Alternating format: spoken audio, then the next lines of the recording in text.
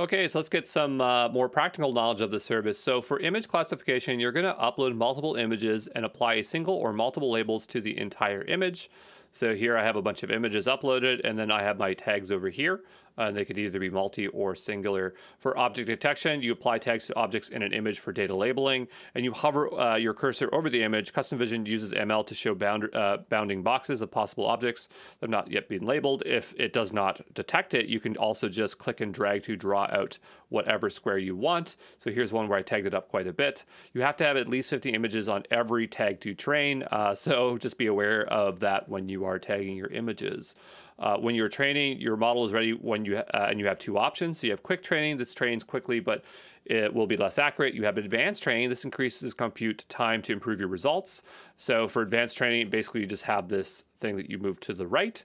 Uh, with each iteration of training, our ML model will improve the evaluation metrics, so precision and recall. It's going to vary, and we're going to talk about the metrics here in a moment, but the probability threshold value determines when to stop training when our evaluation metric meets our desired threshold. So these are just additional options where when you're training, you can move this left to right uh, and these left to right, okay?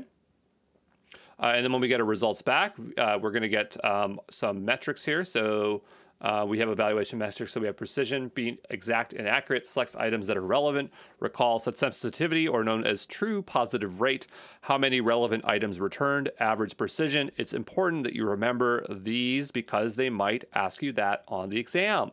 So for uh, when we're looking at object detection and we're looking at the evaluation metric outcomes for this one, we have precision, recall, and mean average precision. Uh, once we've deployed our pipeline, it makes sense that we should go ahead and give it a quick test to make sure it's working correctly. So you press the click quick test button and you can upload your image and it will tell you. So this one says it's Worf. Uh, when you're ready to publish, you just hit the publish button and then you'll get uh, some uh, uh, prediction URL and information so you can invoke it.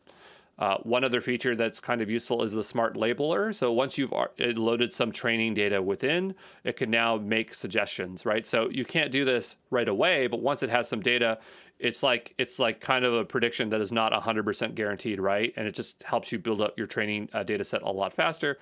Uh, very useful if you have a very large data set. This is known as ML assisted labeling. Okay.